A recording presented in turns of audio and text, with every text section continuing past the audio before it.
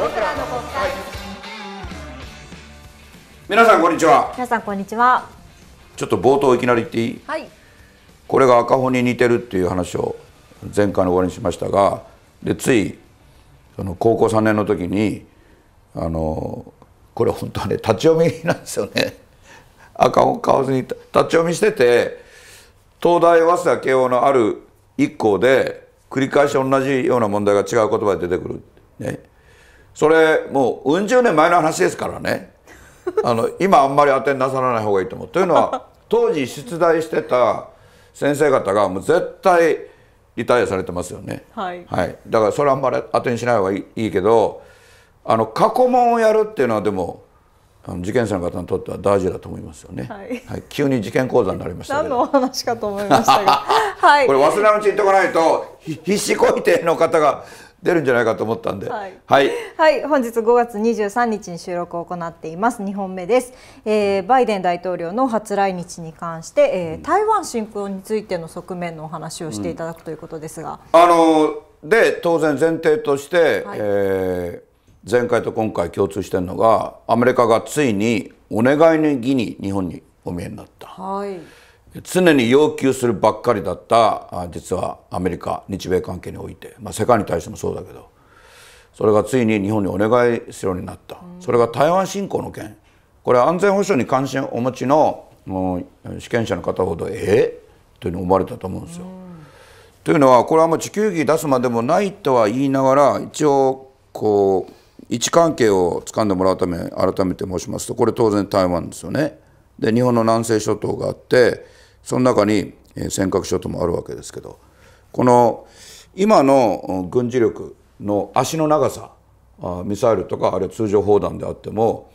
とにかく遠くに届くってことは戦域が広くなるんでこの台湾なら台湾だけじゃなくてこの辺に及ぶっていうことがあるからすでに中国は事実上尖閣諸島に軍事力を一部とはいえ入れてるわけですよね。でしたがってその台湾有事中国は間違って武力統合ただし一部を使ってやろうとするときに尖閣諸島が被害者になるから、えー日本がアメリカにお願いして尖閣をあらかじめ日米共同で守ってくださいね日本がお願いしてきたはずだということを、安全保障を勉強なさった方ほどそう思う思われるはずですよね。それは間違ってるわけじゃないんですがただあの今回日米首脳会談がある前に当然日米間で水面下の議論が行われ調整も行われそして、まあ、僕は民間時代からそういうことをやってましたけど今国会議員ですから当然水面下で、えー広い意味のそういう議論の中にうん入ってます。でそこで受けるアメリカの印象って今までと全然違っててそれはウクライナショックだよね。はいそれでウクライナショックっていうのはあのチャイナにとっては台湾に関してやりにくくなった面は間違いなくあるんですよ。はい。このお2014年のクリミア半島の併合ですよね、えーもう言うまでもないけどここのクリミア半島。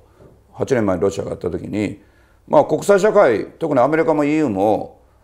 まあ、うん日本は、まあ、もちろんってわけじゃないけどアメリカ EU があんまり反応しないのに日本だけ反応するわけにももちろんいかないので認めたわけじゃないけれども、まあ、例えばあのウクライナの政府にとったら信じがたい反応だった。ね、でそれで止まってれば例えばこの台湾を中国が取りに来た時に今までの中国の主張通り内政問題って言って済むんじゃないかって期待が、まあ、実はあったわけですよ。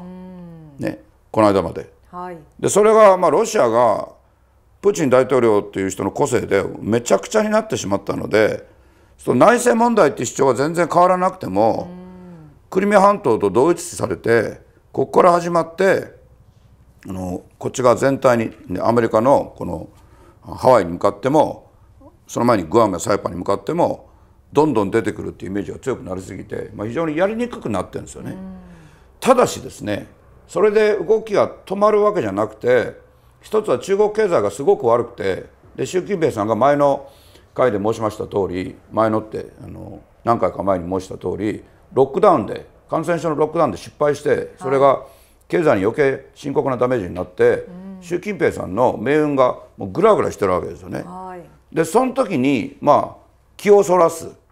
あるいは歴代の中国の指導者が中華人民共和国になってからの指導者って数多くないですからね。それから誰もできなかった台湾の統合併合っていうのを実現するってことが逆にこの追い詰められてきたから主要命題になってる。これはアメリカの見方です。で日本もあのそれと全く同じではないけれどもあのリスクが高くなってる。リスクが低くなってるって人よりもやっぱ高くなって同じ人の中で両方見方ある。僕だってそうですけど全体を通じてるとやっぱりリスクが高くなっててでその時にアメリカ一つバレちゃったってことがある。はい、独裁者の一言でアメリカは身動き取れなくなる。つまり核を使うかもしれないと。ね、でプーチンさんがそれ実行したわけですよ。で中国もロシアほど核弾頭の数多くないけれどもしかしこのすぐ近くの日本にすでに30万以上の都市には全部中国の核ミサイルの照準が合っているというのは前から指摘されていることで,、でそれも含めてその中国が習近平国家主席が核を使うかもしれないっていうことを言った時にアメリカ軍は動きが鈍くなるっていうのはもう避けられないというのがこのウクライナショックの実は一つなんですよ。はい、でそれはこれは全部合わせると実は台湾のこの本島じゃなくてこの地球儀には出てこないけど東沙諸島ですね。南側にある。ちょっとこの地球儀には出てないですけど東沙諸島に、うん、今監視武装した監視兵は台湾の手でいますけれどそこに爆撃を含めてですねつまり民間の方ほぼいらっしゃらないあの工事関係者とかあのはいらっしゃる場合がありますけれども基本的には普通の民間人が住んでるわけじゃない。したがってそこに爆撃を行ってあのロシアが民間の方を次々虐殺して全くの国際孤立に追い込まれたことにならないように東沙諸島を武力で統合してそこから例えば中国はあの時間かかることに耐える、えー、習慣はありますから次の総統選台湾の総統選に向けて親中派の総統を誕生させて、あの武力を一部使うけれどもあくまで最後は民主的な手続きに見えるようにするということをやる恐れはこんなに上がってるわけですよね。で、ね、その時にじゃあ東沙諸島だったら米軍は出ないのか、でこれは実は僕の理解している限りで言うとアメリカはまだ例えばバイデン政権の内側でも意見がビシッとまとまってるわけじゃない。それはまた中国に読まれていて、はい、だから中国は逆に東沙諸島だったら爆撃して陸兵が上がっていって監視兵を殺害してもアメリカ軍は本格的には出てこないんじゃないかと。ね、でこのぐにゃぐにゃの状況を考えるとそのアメリカが一番心配していることの一つは在日米軍基地ね、はい、この三沢以南の三沢から沖縄に至るまでの沖縄だけじゃないんですよ。でそこの守りを米軍だけではとてもできないだろうと。大体もともとそのアメリカって自ら守るのは増えてでだから2001年9月11日の同時多発テロもやられたわけで、えー、守る習慣がないんですよ。つまり独立戦争以降は攻撃されないアメリカだから。したがってまずこの在日米軍基地は全部自衛隊で守ってくれませんか。これお願い。つまり日米安保条約ってあの一方的にアメリカが日本を守ってくれるんで日本はアメリカを守らないからだから逆に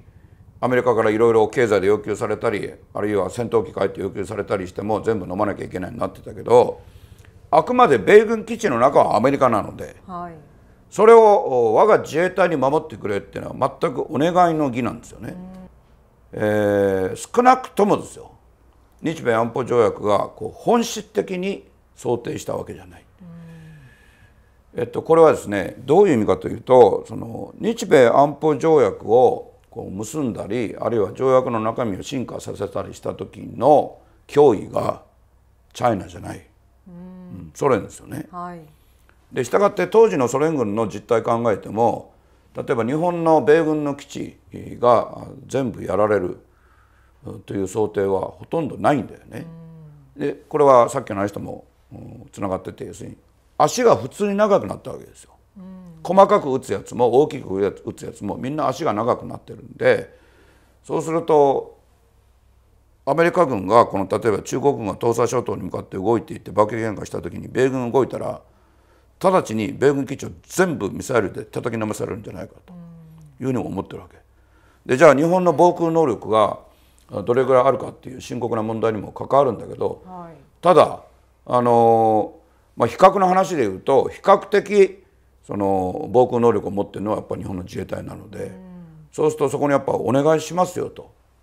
今までの想定をこの安保条約の法的な定めの話だけじゃなくて実態としてそうやってお願いしなきゃいけないねと。いうことがあるんで今回そのどこまで公開するかは別にして日米首脳の間で話した話っていうのは本当はあの前回の経済と今回の台湾有事だけじゃなくてまさしくロシアをどうするかこれはすでにこのロシア軍が全面的にウクライナを占領するともありえないので。じゃあポストウクライナをどうするのかロシアと国自体どうするのかプーチン大統領の存在どうするのかそれから北朝鮮の核とミサイルバイデンさん本人はあまり関心持ってないんだけど日本は最大関心事の一つだからこれどうするかも話してるわけですけどだからものすごく重層的にいろんなことが同時進行で起きてるんだけど少なくとも台湾を含めたアジアの守りについては今までみたいにアメリカが高飛車にアメリカに守ってもらいたいんだったら言うことを聞けっていうのとはガラッと様変わりしてるわけですよ。でそこに、日本の防衛費を増やすあるいは反撃能力って妙な表現になったけどまあ言わんとしてるのは今までの専守防衛だけではできませんねと。はい、専守防衛っていうのだから僕は前からこれあの全く言葉として間違ってると申してきたんですけど今までの専守防衛に対するこの政府が作ってきた少なくともイメージ国会答弁という法的効力のあるものだけじゃなくてメディアに対しても国民に対しても作ってきたイメージっていうのは専守防衛ってこう殴られるのはこうするね。殴られたらこうするだけだってか殴ったところをこうするっていうのはそもそもないと、うん、そうでしょ？いわゆる対処療法だけだと、はい、だから反撃能力って言葉は僕はあくまで反対です。それ変わりません。あのこの本の写真グラフにもこの反対してる場面をわざわざ入れたんですよ。これ写真も全部自分で選んだんで。これですよね。この天明編の写真グラフの最後の方にここに自由民主党の安保調査会で反撃能力との提言に反対意見を述べると。これ編集者が書いたんじゃなくて全部私が書きました。その通り今でも反対です。ただしその日米の水面下の協議などで党側からも説明しているのはですね要するにこの専守防衛がこう今までこうやられたらこれをこう防ぎましょう。でもこの元は叩きませんよ。この肘とか肩はやりませんよ。やりますよという意味にはなりましたと言ってるんでそれやってくれって。やってくれと。つまり中国に対して。さらに重大なこと言ってるの分かるよね中国は賢いから。日本を叩く時に在日米軍基地だけ叩いて、ね、だから自衛隊と一緒にいるような三沢基地は例えば横須賀も含めてやらなくて、うん、沖縄に多い米軍専用基地嘉手納とか普天間とか。そこだけを叩いてくるっていうのがありえる、うん、ね、その時につまり日本いわゆる日本は被害を受けてない米軍専用施設だけ被害を受けてるのに反撃してくださいよと、うん、中国に対してこれをお願いしてるわけですこれ岸田総理はい分かりましたってわけにこれいかないので。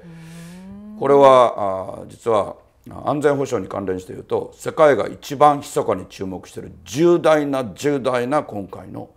ポイントなんですよ。表に出てくることは僕はほとんどないと思うけど、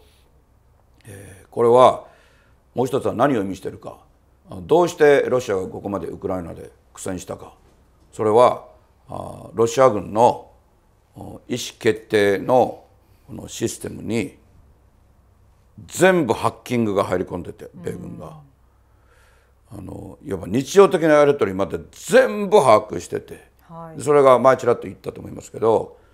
チームの中にあの野球帽を反対側にかぶった少年がいて、ハッキング。まあギリギリ青年になってるからぐらいの若い人がハッキングやってて、そしてそれを指揮してる中にはまあベテランの軍人もいるけど基本的にはそういう少年がやってるっていうね。これまあ比喩的ではあるけども、えーかなり現実に近いところがあってこれロシアにだけやってると思いますか？あー中国にも。はい。はい。人民解放軍の PLA のお指揮命令系統の中に入り込んでます。これ僕の責任で今言いました、はい、そうすると今例えば中国の作戦計画の中に、この東沙諸島だけ出ていく。で米軍が一部動き出した。その時の米軍の動きを止める時に例えば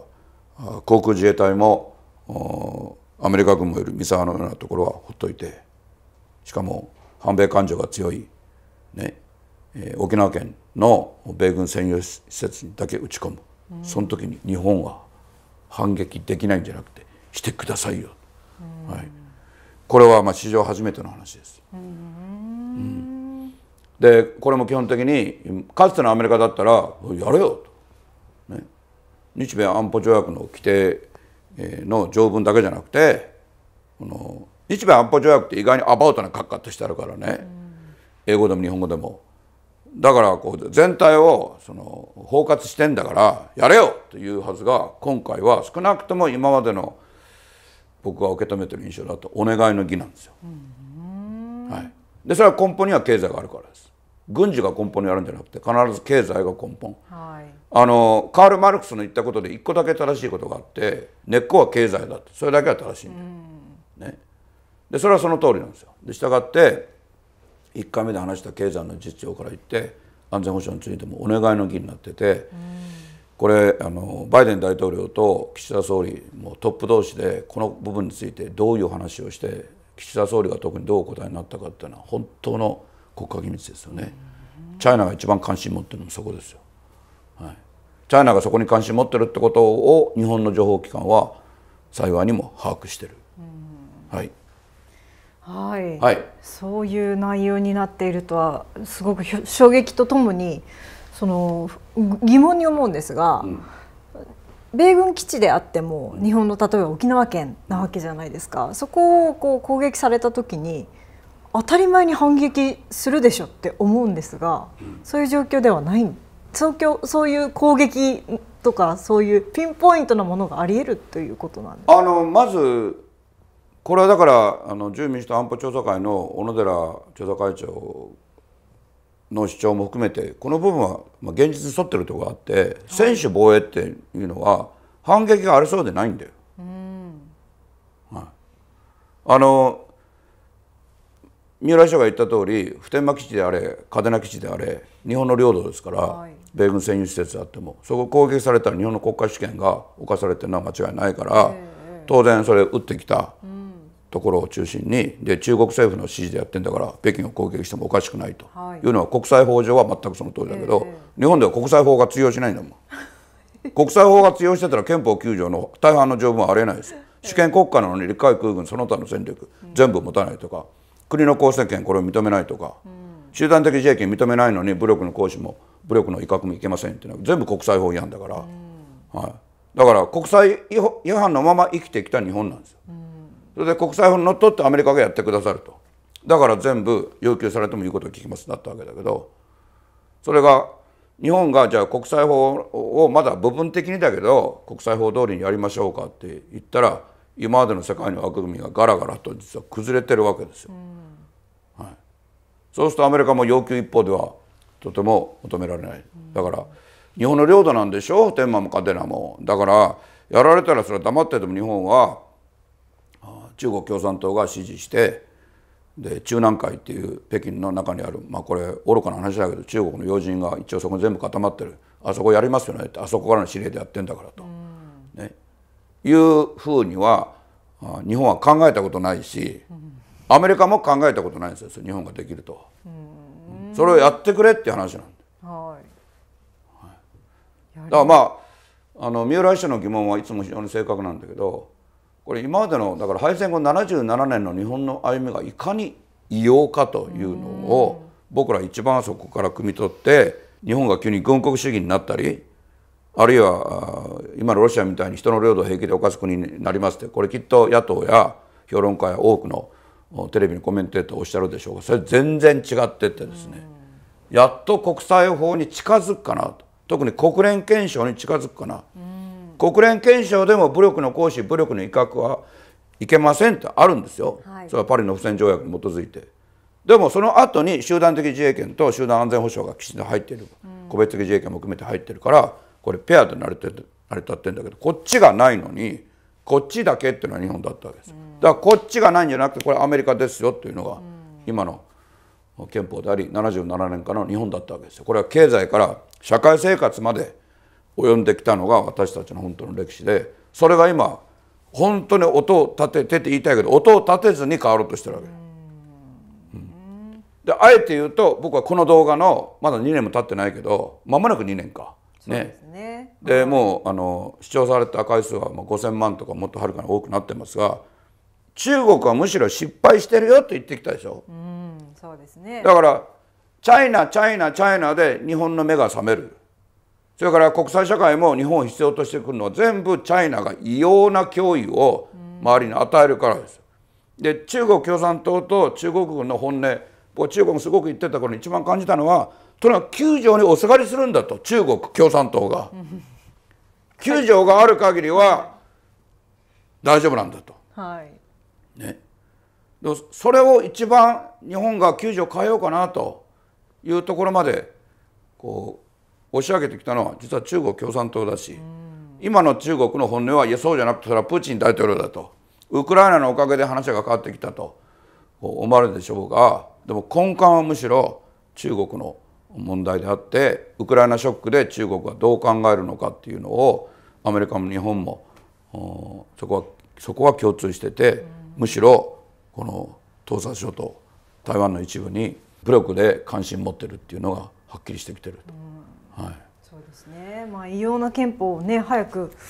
まあ、正常な状態に戻していかないといけませんよね。ただねやっぱ1853年のペリー艦隊の来週を1本目で言いましたが、はい、日本は外圧に弱いんじゃなくて外圧を本当に生かせる国なんですよ。もう不思議なぐらいに。はい。あのペリー来航に関してもね僕ら学校でずっと教わったのは日本が大当てで外圧にいかに弱いんだと。それ違うってずっと言ってきたよね江戸期っていうのは本当に世界最大級の都市を住民自治で、えー、安定させてたっていう奇跡の町だったからそれがたった4隻見慣れない船が来ただけでこれじゃダメだって気づくなんていうのは世界史に燦然と輝く業績なんですよね。はい、で現代はあの黒船来襲みたいに分かりやすくなくても、今はあチャイナが事実上その黒船の役割を果たしているというべきであって本来岸田政権は宏池会政権でそんな中国様に逆らうなんて、ね、いくらアメリカ様のお願いでもね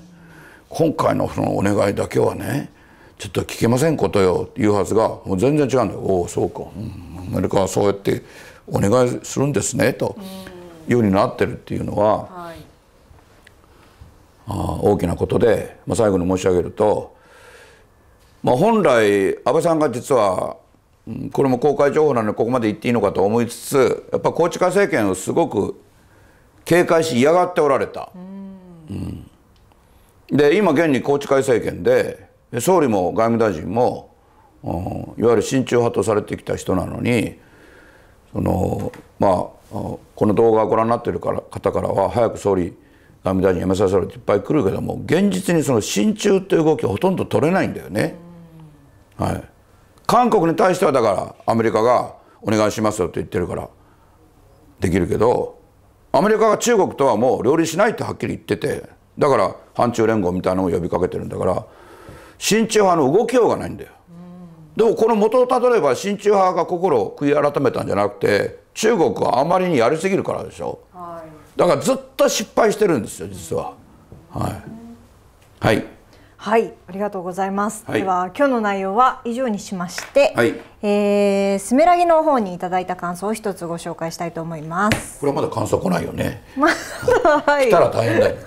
来たらよく見たら青山茂春って書いてある、うん。はい、はい、そういうやらせはありませんので、はい、はい、昭和天皇陛下が崩御された時私は小学3年生でした。天皇陛下のご存在が全く分かっていない小学校中学年の私でも世の中の状況にただごとではないという空気感があったことを昨日のことのように鮮明に覚えています。と同時に日本全体があそこまで重々しい空気になぜなるのか全くわからなかったことも事実でした思い返せば小学生の私にとって昭和天皇陛下は、えー、品格と威厳がありながらもぶしつけながら優しいおじいちゃんという印象でしたまた昭和天皇陛下の声色も優しく温かい声で大好きでした。日本国民として愚かなことですがその程度でした。今回誰があなたを守るのか不安な時代のスメラギを拝読し歴代の天皇陛下が不敬でつながっていることの意義天皇陛下が私たち国民のために祈り続けてくださっている尊いご存在であることまた私たち国民が愛子内親王殿下に天皇陛下に即位されることを望んだ場合の愛子内親王殿下に起きうる、えー、犠牲等々を分かりやすくもその真実に触れることができました。この本に出会わなければこれらのことを知ることはできませんでした。無知は恥という言葉がありますが126代にわたる天皇陛下のご存在は私たち国民のまさに拠り所であり日本国民の本家のようなご存在。すなわち日本という国そのものだということを知ることができたのですこれらのことは学校でもどこでも学ぶことはできませんでした。日本の象徴である天皇陛下のご存在と伝統ある日本について5歳の息子に対し私なりに後世に伝えていきたいと思います、はい、青山先生この本を世に出すまで私には計り知れないご苦労があったことと拝察いたしますが執筆し世に出してくださりありがとうございます。私にとっても大切な一冊となりましたというご相談いただきました、はい、ありがとうございますちょっと長めだけどその三浦師匠が最後まで読んでくれた意味はよくわかります。まあ、執筆したのはあくまで原作であってあの漫画にしてくださったのは広金プロダクションの皆さんです。で一言だけ申し上げると「近江心」っていうね、はい、あの大切な日本語があってあの僕に平成期っていう昭和天皇崩御される時の現実を描いた小説があるんですがあれの隠しテーマが自粛。今書いておられて重々しい雰囲気ってなってましたけど自粛ですよねそれが本当に近江心に沿うことであったのかというのは隠しテーマになってるんですよ。はい、そのつもりでもう一回読んでいただくのもまあそんな長い小説じゃないんでありかなと思うんです。これなぜ今言ったかというと今あの皇室のことについて、まあ、非常にあのトゲトゲしいこのことが僕の周りで国会議員の間とか官僚の間で起きてる事実はないですけど大事な主権者の皆さんの間にすごく起きててですね。でそれが果たして例えば昭和天皇の近江心に沿うことなのかあるいは上皇陛下の近江心に沿うことなのかもちろん近所陛下の近江心に沿うことなのかというのもあのお互い一緒に考えることの一つじゃないかというのを、今の感想文をきっかけにあえて申し上げました。はい、はい、ありがとうございます。はい、えー、そして今回から、えー、見えざる危機という。見えざる危機、はい、多発シリーズ。多発シリーズ。はい、はい、えっとですね、はい、この見えざる危機一発じゃなくて多発シリーズが例えば僕は銃向けられたこと何度もありますがもっともっともっと根本的な本物の危機なのでこれあの話が仮に盛り上がらない時あってもですね丁寧に最初から話したいと思うんですよね。で事の発端は1997年なんですよ。はい、でこれはまだ危機当時の日本危機だったんだけど、えー、今まで何度かお話しましたけど97年の1月2日お正月にロシアの、まあ、たまたまロシアですけどタンカーが島根県の沖ノ島や竹島に近い辺りで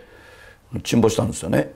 でそこから重油が漏れ出してまあ清い日本海がもう恐ろしい汚染に襲われた、うん、でその時に船の位置は日本の技術で特定できたんだけど海水の中にどれぐらい油の粒々が入ってるのかが分かんなくて東京大学もやっぱり東大の技術力が一番高いんですけどそれも分かんない、え、政府機関も分かんない。それであちこち話がいってる間にまあ、当時の東京水産大学っていうマイナーな短科大学今の海洋大学ですね。そこに話が来て女子で一人だけこの魚群探知機っていう安いものを使って海の中を見てる研究者がいる。ポスドクね、えー、博士号を取ったけど行き場がなくてその研究室にいるポスドク。でそれが青山千原博士だった。で日本海にその海高丸っていう、うん、今でも海洋大学の船ですけど当時、え、水大の水産大学の船で出て行ってその魚群探知機の超音波の周波数を変えるだけで油の粒々を見つけたんですよね。でそのままあつけっぱなにしにしてこの品川の港に帰ってくる長い航海つけっぱなにしていたら海底からろうそくのようなものが立ち上がっているのを発見したでそれが大体600メートルちょいあって当時スカイツリーないですよ。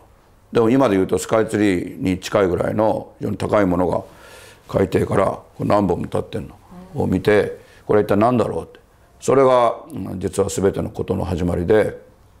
そこから7年の長い採決が流れて、えー、だから2004年になって青山千原博士とそれから協力してくれたあ東大をはじめ先生方あの中でどうもこれはメタンハイドレートメタンは天然ガスの主成分それが凍ってるものがこう軽いので日本海の方はそれがこの太平洋側の方はこう海底深くに砂と混じってあるんだけど日本海側の方はこう海底面に出ちゃってるものもあるから出ちゃってるってことはこの粒々が軽いガスの塊でこの柱になって立ち上がってるんじゃないかっていうのがこう想像がついてきたまだ調査はできてないけど2004年なんですよ。うん、でもこれが危機の発端で、はい、なんとその時に協力してくれた先生の中で裏切る人がやがて出てくる。なぜかというとメタンハイドレートそのものは前から知られてた。でまた地球儀だけど要するにこの辺で見つけたわけですよね新しい柱になってるもの。はい、でも太平洋側のこの辺で実は日本政府と日本政府の中の旧石油鉱団ジョグメックってやつ、はい、それとやっぱり一番強い大学の東大が協力してなんと588億円も使ってここでしかも海底掘り返すってこともやってたわけだ、うん、ね、ところが全く成果ない。それで OK だったわけですよ、うん、成果出たら困るの、はい、成果が出て日本が自前の天然ガスメタンハイドレートって上に持ってきて溶けたら普通の天然ガスですから持っちゃ困るけどここにあるやつは海底下の深くに入っててこれ取り出すのに掘削してお金かかる上にようやく取り出しても砂と混じってるからこれをより分けなきゃいけないうんぬんかんぬんで国際メジャー石油省の売ってる天然ガスや原油に勝てるわけがないから問題ない。でも日本も努力してます。それで止めときましょう。それが一人の女性の研究者によっていやぷくぷく湧き出してんだからここで膜で置いとけばどんどんたまるじゃありませんか？掘削しないですよね。漁業保障もすごく少なくて済みますし漁家と大体連携できますよね。これ話まずいなになって実はその協力してくれたはずの学者の中から例えば船の上で青山千博士に白紙の紙を渡して「ここサインしろ」と。はい、白紙なんだよ。白紙にサイン。でここれはどういうことですかと、うん、ねこのまだ若い研究者の青山千博士が聞いたらいやとにかくこのこの調査公開で分かったことは絶対外に漏らさない、うん、つまりその先生のものだけあなた漏らさないっていう意味なんだと。でも白紙なんだよ、うん、ね、そこで署名させられた、署名させられて当時は僕も事情よく分かってない。で、えー、青山千中さんが僕にこれはもうだから配偶者とかそういう家族関係の話じゃなくてお互いまあエネルギーに関わってきた専門家分野は違うけど当時は。泣きながら私は国のためにならないことをしてしまったと。あの先生は独占するつもりだと。しかもこっち側で使ってるお金が実は成果出てないってバレないようにしたいんだと。科学者なのにそう思った。私は私が国を裏切ることになるのかって言って泣くから全く心配ないって言ったんですよ。君は科学者だから知らないけど例えば民法をちゃんと読めばこの抵抗できない不合理な状況でサインさせられたものは基本的に無効だから全く心配ないと。でところでこれ一体どういう話なんだと、そしたらいやこっち側でやってるメタンハイドレートはお金かかって多分使い物にならないっていうの多くの人が分かってるけどこっち側で直高号をきっかけに出てきたものは実は全然お金かからないんじゃないか、ところが政府がかけてる予算はこっち側がだから600億円ぐらいになっててこっちが0円だと、ゼロ、はい、それで、えー、僕は当時民間人でしたがあの時まあ国会議員になる決意した方が良かったよね。はい、でもそんなこと夢にも思わずに、まあ、民間人として立ち上がったところ、早速この民間人なりにだってもう政府の総合資源エネルギー調査会の専門委員ですから、はい、役所にも学所にも知ってる人多いよね。青山さん命が持たないよっていうことを言ってきて、うん、それでそう言われると三浦市長知ってる通りこちらは燃え盛るじゃないですか。はい、あ。何なんだこれは。もう真正面から行くぞでまたゆっくり丁寧に話しておきますけど政府全然動かないのでとりあえず使える資源だったらしかもコスト安いんだったら民間企業動くはずだ。だから民間のしかも一番大きなうちの一つの石油会社の社長に会いに行ったんですよ。その時に恐るべきことが起きますがすいません。近いですね。はい。でまだ肝心なこと言ってないんですがその石油会社の会社の1階の受付に行った時に僕が「チャンネル登録お願いしに来たんですけど」言うわけないだろ。はい。はい、はい、ありがとう1階の受付はすぐ通してくださいました。その後何が起きたでしょうか。はい、はい、次回にやりたいと思います。はいぜひ皆さんチャンネル登録とそして自由民主党への入党もお待ちしております、この会館事務所青山茂春事務所を通じて党員になっていただくと自由民主党を中から変えるための党員ってことがはっきりします、はい、ぜひ一緒にやりましょう。そして、はい、えー、全国でまだまだリアル版の僕らの国会開催しておりますので、うん、ぜひ皆さんお越しください。だんだん終わりに近づきますから、はい、あできれば早めに申し込んでいただくとと思います、そしてこちらも5月 ,5 月30日から順次書店に並ぶ予定です。はい。なんか一気にあの3冊発刊なんで一冊が消費税別にすると1500円。はい。うん。それだから消費税を別に